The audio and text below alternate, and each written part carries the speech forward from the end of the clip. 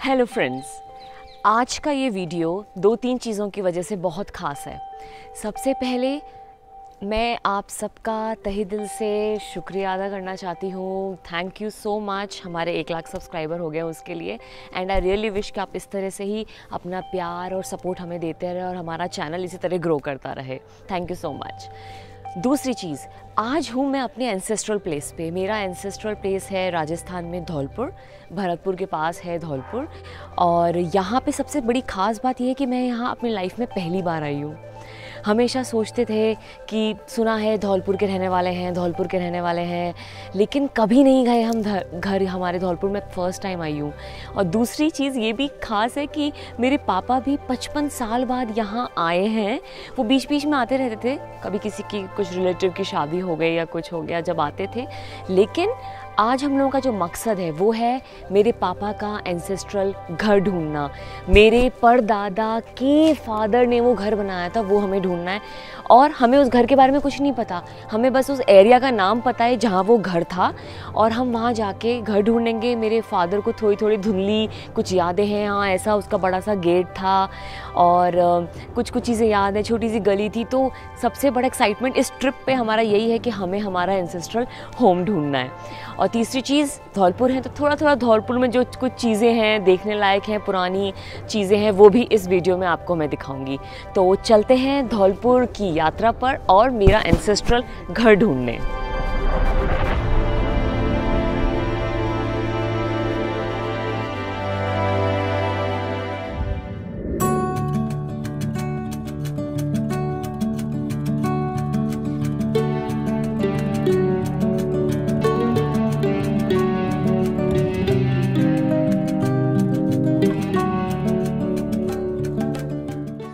जाने का एहसास क्या होता है?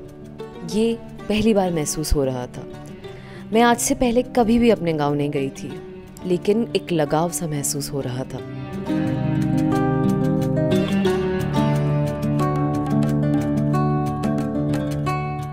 अपना पुश्तैनी मकान खोजने से पहले हमने सोचा कि धौलपुर की धरती पर शुरुआत नाश्ते से की जाए और हम जा पहुँचे चाचू मिष्ठान भंडार।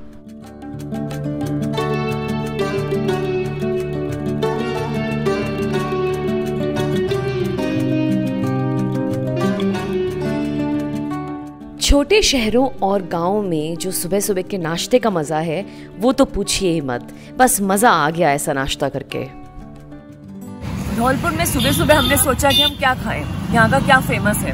तो ढूंढते ढूंढते हम लोग मचकुन की तरफ़ जब जा रहे थे तो एक चाचू मिष्ठान भंडार आया, जहाँ पे हम खा रहे हैं बेड़ई, आलू की सब्ज़ी के साथ। पहले मुझे लगा ये बेड़वी टाइप है थोड़ी थोड़ी है, लेकिन थोड़ा सा अलग है ये। तो बहुत टेस्टी है। पहली बार खाया मैंने, बहुत अच्छा है। धौलपुर में सबसे पॉपुलर है हमारे यहाँ सबसे ज़्यादा चलती है बड़ी। बड़े। जो आटे से बनती है।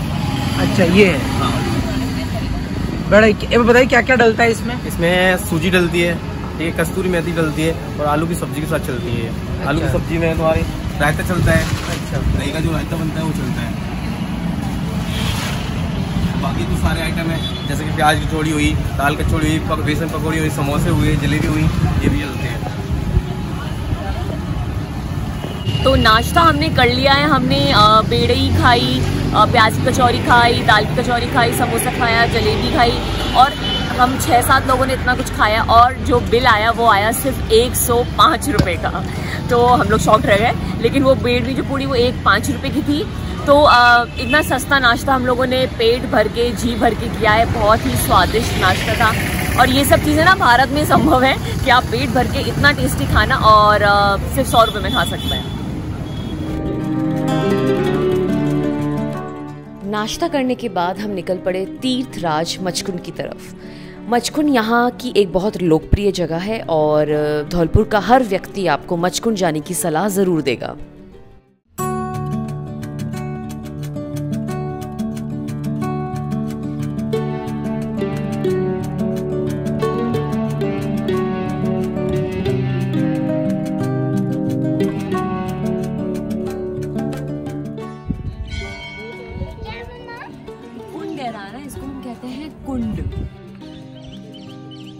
इस मचकुंड सरोवर को धौलपुर की विरासत कहते हैं। मान्यता ये है कि इस सरोवर में जो एक बार स्नान कर लेता है, उसके सारे चर्म रोग ठीक हो जाते हैं। हालाँकि इस दावे में कितनी सच्चाई है, ये मेरे लिए कहना मुश्किल है। इस सरोवर का नाम राजा मुचकुंद के नाम पर रखा गया है। यह तालाब बहुत प्राचीन है। राजा मुचकुंद सूर्यवंश के चौबीसवें राजा थे। मुचकुंद सरोवर को सभी तीर्थों का भांजा कहा जाता है।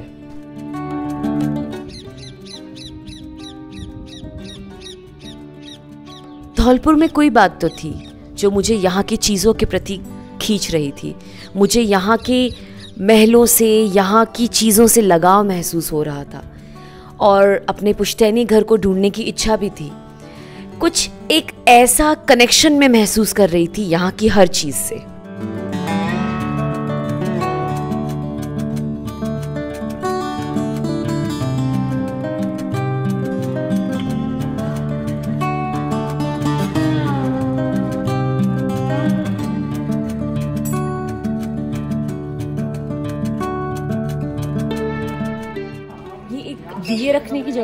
पहली बार देखी है और ये कितनी इंटरेस्टिंग है।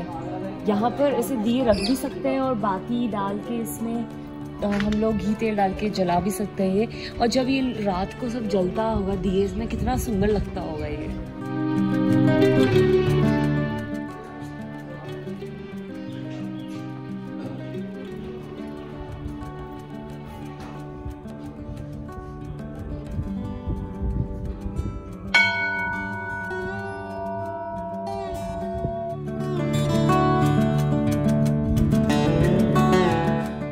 मचकुंड सरोवर के दर्शन करने के बाद हम निकल पड़े मेरे पुश्तैनी घर को ढूँढने के लिए। लेकिन रास्ते में राजा का महल भी था तो हमने सोचा कि कुछ देर राजा का महल देख लिया जाए। धौलपुर वैसे एक बहुत छोटा सा शहर है, ज़्यादातर लोग इसको, इस नाम को जानते नहीं हैं। अगर जानते हैं तो वो जानते हैं राजस्थान की पूर्व मुख्यमंत्री वसुंधरा राजे के नाम से, क्योंकि वो धौलपुर की बहू हैं। उनकी शादी यहाँ के महाराजा हेमंत सिंह से हुई थी। वैसे अभी यहाँ महाराजा या महारानी कोई यहाँ रहते नहीं हैं। उन्होंने जो राजनिवास पैलेस है, इसको एक हेरिटेज होटल का रूप दे दिया है। आप लोग यहाँ पर आके ठहर सकते हैं। महल के अंदर जाने की भी शायद परमिशन है नहीं। अगर आप इन हाउस गेस्ट हैं, तब आप यहाँ रह सकते हैं और यहाँ के रेस्टोरों में खाना भी खा सकते हैं और इस महल को देख सकते हैं।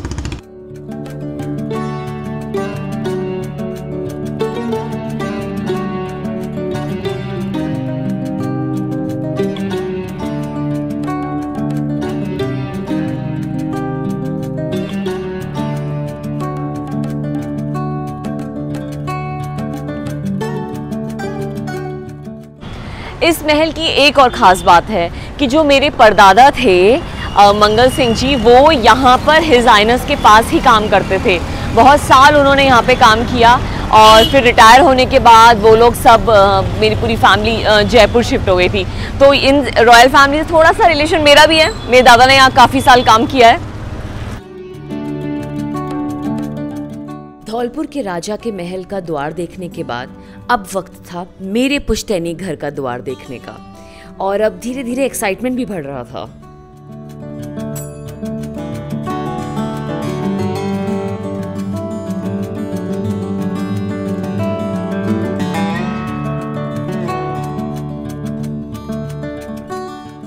अभी हम लोगों से पूछ रहे हैं वैसे पापा को याद नहीं है कि वहाँ पे आसपास क्या था। लेकिन हमने बस एक क्लू है कि बहुत पुरानी हवेली तो पुरानी जो हवेलियाँ हैं, वो किस तरफ़ है, हम वहाँ जाके ढूंढ रहे हैं अब।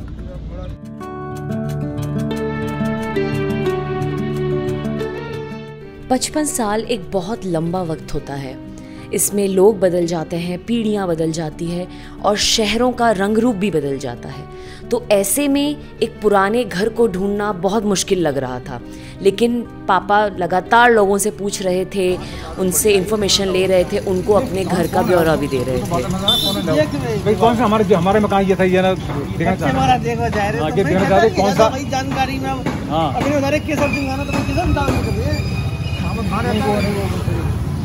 तो थोड़ा मन रहेगा ये हमारा मकान था। अब हम तो बूढ़े हम तो बोलते छोटे रहते बोलते गाँव के लोगों की खास बात ये थी कि वो हमें जानते नहीं थे पहचानते नहीं थे लेकिन फिर भी वो हमारे साथ निकल पड़े हमारे पुश्तैनी घर को ढूँढने के लिए।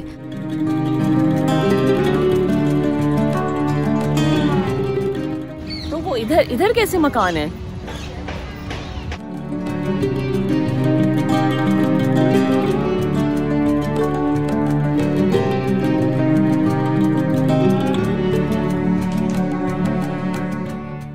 गाँव की इन्हीं गलियों में मेरे पिता का बचपन गुजरा था और आज मेरा पूरा परिवार इन्हीं गलियों से गुजर रहा था।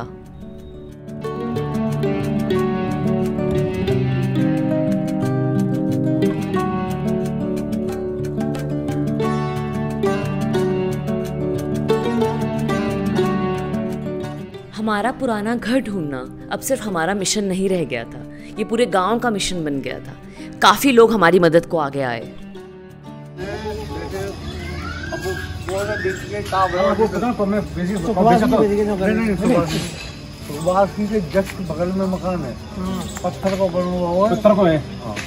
सुखवासी तो पुरानी घर थोड़ा सा बाहर गेट है साथ थोड़ा सा। गे- गेट वगैरह पत्थर के बने हुए हैं पुराने हाँ हाँ हाँ।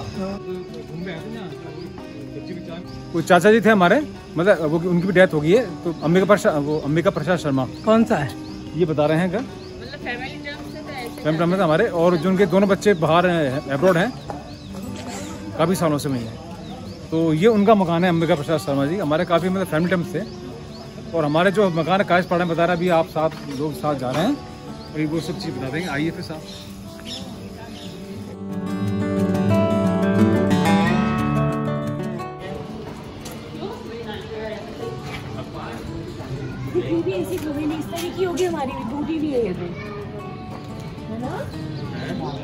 घर को खोजते खोजते एक डेढ़ घंटा हो चुका था। अब हमारा धैर्य भी जवाब देने लग गया था। एक बार तो लगा कि शायद नहीं मिलेगा घर हमें, हम वापस चलते हैं।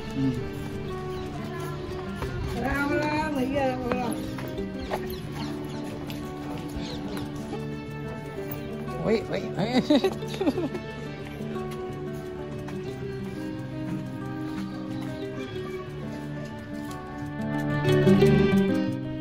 मिले या ना मिले, लेकिन गाँव की गलियों में चलने का बड़ा मज़ा आ रहा था।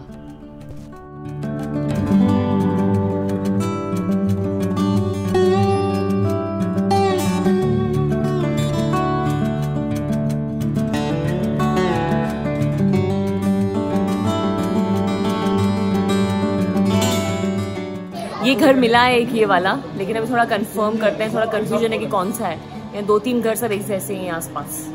हम तो बड़ा हॉल था पहले जाते ही। हॉल टॉप पे कमरे एक दो ऐसे ऐसे बन रहे थे कमरे। बैठक थी आगे की साइड। और एक हमारे मतलब किराएदार थे उन्होंने उसको मतलब खरीद लिया फिर। वो मकान भी पचास एक साल हो गई गाँव के कुछ लोगों ने हमें सलाह दी कि आप जाके सुरेश चंद जी से मिलिए। वो यहाँ के एक बुज़ुर्ग व्यक्ति हैं और यहाँ रहने वाले पुराने लोग जो थे उनको वो जानते हैं। तो हम पहुँच गए सुरेश चंद जी के पास। तो हाँ। और उनके फादर थे गोपाल सिंह जी मतलब बेटे गोपाल सिंह हाँ। उनका मकान। है वो। कौन सा कौन सा? है और मैं देखो बेटा हूँ गोपाल सिंह वो है नहीं। कौन बेच गए मकान है? वो तो हाँ, लेकिन है कौन सा मकान ये? हम तो क्या है, हमारे को बच्चे वगैरह। कौन वही मैं कह रहा हूँ होगा ही बच्चे वगैरह आए देखने पापा आप चलो हम यहाँ घूम रहे हैं तुम आस पास जगह। वही वाला है ना? वही वाला है।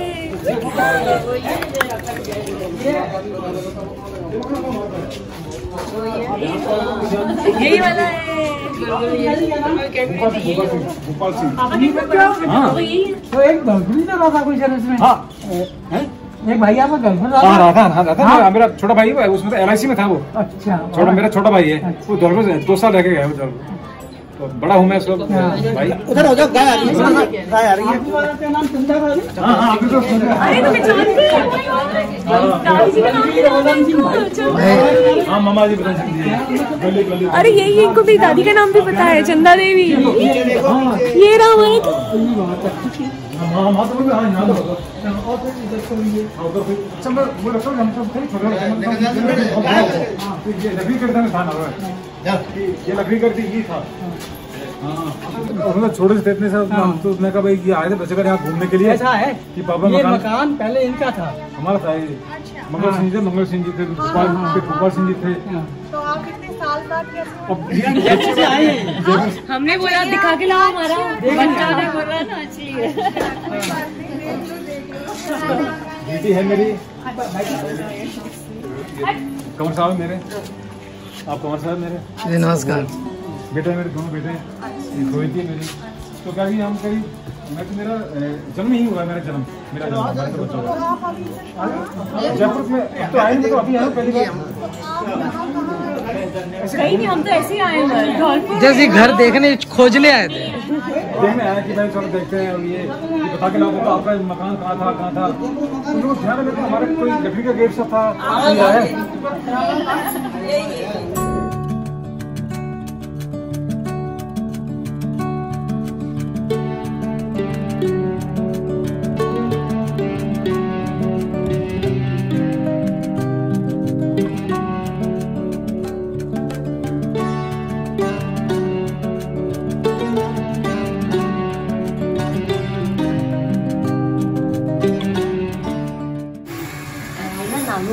पैदा हुई थी।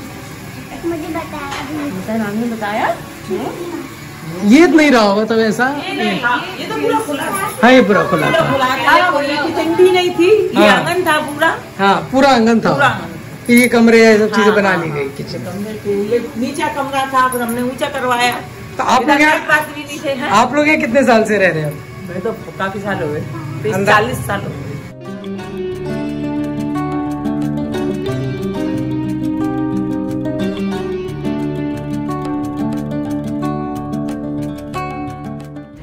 पूरा घर था लेकिन ये जो दीवार है ये पार्टीशन हो गया है। तो घर छोटा हो गया लेकिन पापा कह रहे हैं पहले बहुत बड़ा हॉल था तो वो बोल रही है आंटी कि हाँ बड़ा हॉल था। अब ये पार्टीशन करके दो घर बन गए हैं। बोलो जो ध्यान आकर सुनो गर्मी के अंदर ना सोते उस टाइम इतने बन के पड़े तो था नहीं। तो ऐसे ही होता है। अच्छा ये पुरा ये वाली हाँ, हवेली बहुत ये- पुरानी ये थी पुरानी थी। हम्म, ये बहुत पुरानी है।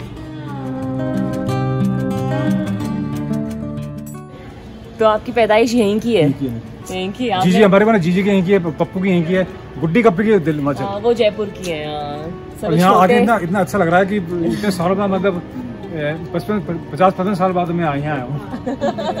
कि हमारे बच्चे के पापा चलो दिखा के लाओ। नहीं बिल्कुल। तो मेरे जो सबसे छोटे चाचा और छोटी बुआ हैं वो ट्विंस हैं तो उनकी जयपुर की पैदाइश है लेकिन पापा बाकी सब बुआ और चाचा की चार दो बुआ दो चाचा पापा मेरे चाचा की यहीं की है। तो पापा अपनी कहानियाँ बता रहे हैं कि यहाँ पे सोया करते थे रात को छत पे।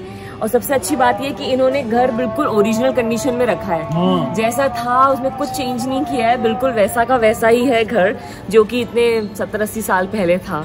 लेकिन बड़ा अच्छा लगा हमें यहाँ की जो लोग पुराने जो लोग थे थोड़े बुज़ुर्ग लोग उनको तो मेरी दादी का नाम तक याद है। तो ये इतनी बड़ी चीज़ है कि इतनी साल पुरानी कोई एकदम से हमको याद है कि हाँ चंदा देवी रहती थी और ये वो। मामा जी कौन तो- है पता मामा जी मामा क्या चंद मतलब मेरे पापा के मामा का नाम भी इनको पता है पड़ोसियों को पता है तो ये इतनी बड़ी बात है।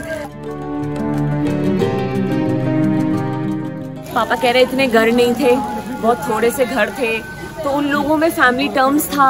तो सब पता है कि हाँ आपका कोई भाई था जो कुछ साल पहले यहाँ पर रहकर गया था, दो साल के। इतनी सारी चीज़ें उनको याद है फैमिली के बारे में। बड़े अमेजिंग बहुत अच्छा लग रहा है आके।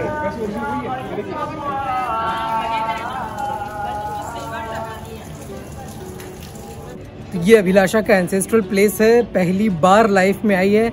और जब हम घर खोज रहे थे, जैसे कि बताया कि हमें उम्मीद नहीं थी कि घर मिलेगा, लेकिन मिल गया तो बहुत अच्छा लग रहा है। और वो जो एहसास है, वो सबसे इम्पोर्टेंट है।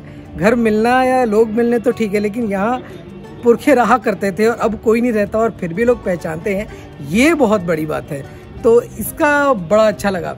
और इसी तरह मेरा भी एंसेस्ट्रल प्लेस है, राजस्थान के झुंझुनू में। इस्लामपुर नाम का एक गाँव है तो वहाँ भी मैं जा चुका हूँ तो उसकी भी झलक आपको हम किसी ना किसी ब्लॉग में दिखाएँगे। सही में अगर नहीं मिलती तो हम लोग दुखी हो जाते कि अरे सोच के आए थे काश मिल जाता दिख जाता कुछ। लेकिन मन खुश हो गया। बिल्कुल। बॉर्न हुए थे? ओके। मैं पैदा हुआ था ये चौक भी मेरे को आज जाना है ओपन चौक था। हम्म। लेकिन जो यहाँ ये इन्होंने जिस मकान लिया है उसका इस पे फिर ये लोहे का लगवा दिया। ये ओपन था वो और ये हमारा ये रूम भी था। तो इनका कि हमने जो वास्तव में जो था वही हमने इसमें कुछ भी नहीं करा है। थोड़ा बहुत ऑल्ट्रेशन वगैरह किया है। बाकी सेम उसी पोजिशन में ये पुराने हवेली टाइप मकान।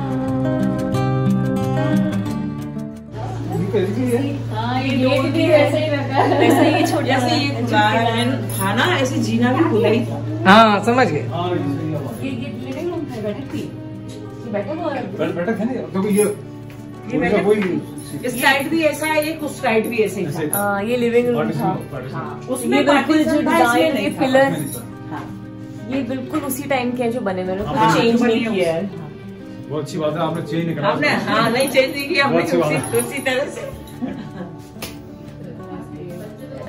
मेरे को तो इतना ही पता है कि ये अट्ठारह सौ चौरानवे का बना हुआ है। और कैसे पता चला कोई कागज़ मिला था? कागज़ मिला था जब इसका अल्ट्रेशन कराया था हमने तब उसमें कागज़ निकला था। बिल्कुल बकायदा पैक। कैसा फील हो रहा है? बहुत अच्छा लग रहा है यही मेरा एंसेस्ट्रल प्लेस है। मेरे पापा यहाँ पैदा हुए मेरे दादा परदादा सब लोग ईश्वर मतलब मेरे पर दादा के भी पापा उनका बनाया हुआ है ये। तो मज़ा आ रहा है बिल्कुल वैसे ही रखा है इन्होंने इतने साल पहले जो कंस्ट्रक्शन था वही वैसा ही है। और अब वक्त जाने का था। मन बहुत भावुक था लेकिन जाना तो था ही। मेरी अभी इसकी ऐसी इच्छा हो रही है कि मैं यहाँ आके रहने लग जाऊँ। बस तुरंत शुरू कर दीजिए। धौलपुर को बाय बोलने से पहले एक और इंटरेस्टिंग बात। धौलपुर चंबल इलाके में पड़ता है और चंबल के डकैतों की कहानियाँ तो आपने सुनी ही होंगी। और दिलचस्प बात यह है कि मेरे दादाजी पुलिस में थे और उनका कई बार यहाँ के डकैतों से सामना हुआ था। लेकिन ये कहानी फिर कभी। इस वीडियो के द्वारा मेरी एक आपसे अपील है। जो भी आपके पुश्तैनी जगह है, जहाँ के आप रहने वाले हैं, वहाँ आप ज़रूर जाइए। एक बार ज़रूर जाइए, अगर आप अभी तक नहीं गए हैं तो। अपनी फैमिली हिस्ट्री अपने पूर्वजों की कहानियाँ जानकर बहुत अच्छा लगता है। जो आपकी जड़ें हैं, जो रूट्स हैं, उनको जाकर पहचानिए। और कुछ नहीं तो मन को अच्छा लगेगा। और दूसरी बात ये कि दुनिया, देश और समाज के प्रति आपकी समझ बढ़ेगी। और अगर ये वीडियो आपको अच्छा लगा है तो इसे लाइक कीजिए, हमारे चैनल को सब्सक्राइब कीजिए। और खूब शेयर कीजिए, ताकि आप और लोगों को भी इंस्पायर कर सकें उनकी रूट्स ढूँढने में।